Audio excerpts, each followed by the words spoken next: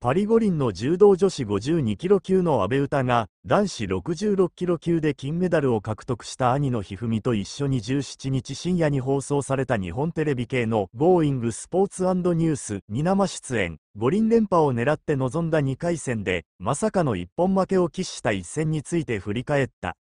シワ2回戦で、世界ランク1位のディオラケルディオロは、ウズベキスタンと対戦、強敵との試合は開始1分15秒、死が内股で技ありを取るなど優勢に試合を進めていた。ところが2分過ぎ、ケルディオロワに一瞬の隙を突かれて谷落としで一本負け。その瞬間、死は現実を受け入れられない表情を浮かべ、畳に突っ伏し号泣、会場に響き渡るほど、悲痛に泣き叫んだ。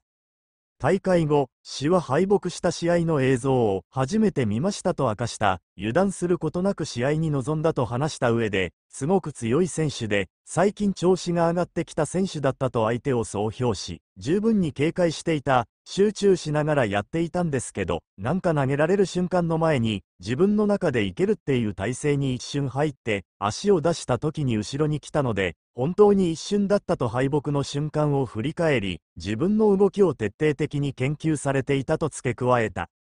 画像、何が起こったんだ？金候補阿部詩が衝撃の一本負けを喫した決定的瞬間。兄の一二三は、絶対に勝つっていう気持ちで僕は見ていたとコメント。驚きの方が大きかったです。正直、負けた時は何が原因かわからなかったですと妹の敗戦に動揺し、言葉を失ったという。無論、死も、ショックというより、何が起こったんだという。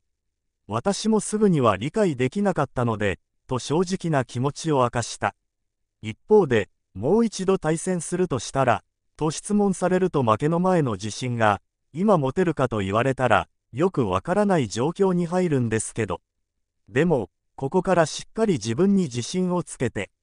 戦う時は怖いと思いますけど、その恐怖に勝った時に成長できると思って戦いたいなと思いますと決意を固め、しっかりと前を見据えていた。